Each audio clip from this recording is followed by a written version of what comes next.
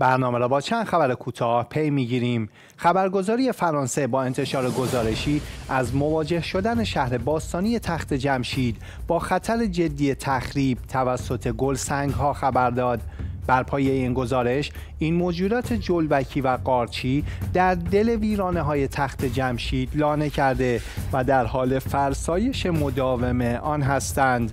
البته کارشناسان ایرانی در تلاش برای از بین بردن این موجودات هستند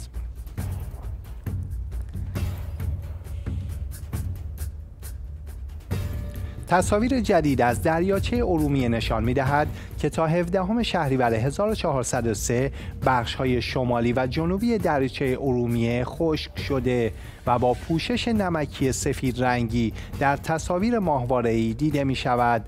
خشک شدن چشمگیر دریاچه ارومیه خطر طوفان گرد و غبار را برای 5 میلیون نفر از ساکنان حوزه دریاچه تشدید کرده و باعث کاهش شدید فراوانی میگوهای آب نمکی آرتیما و فلامینگوها و فعالیت های کشاورزی و گردشگری شده است.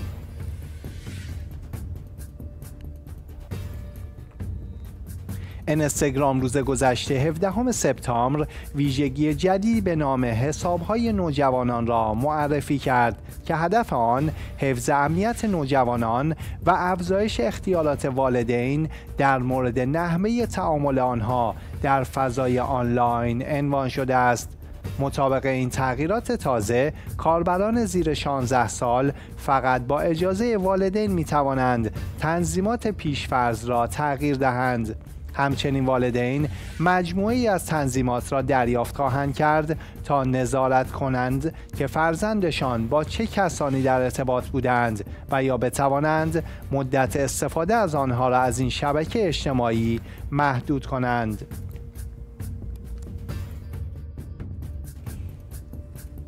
منابع محلی در استان میدان وردک افغانستان از جان باختن دو کودک در پی انفجار یک گلوله خمپاره در این استان خبر دادند. منابع گفتند که این انفجار صبح روز سهشنبه 27 شهریور در منطقه سنگلاخ شهرستان جلریز این استان رخ داده است.